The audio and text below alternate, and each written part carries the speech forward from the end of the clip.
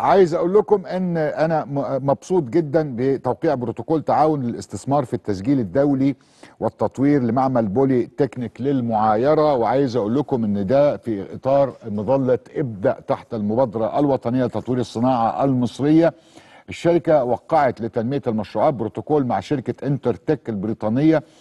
علشان يستثمروا في تطوير معمل بولي تكنيك للمعايرة والمعتمد بالفعل من المجلس الوطني للاعتماد لأن أنت لازم يكون عندك معامل بتطلع شهادات واضحة وشهادات جيدة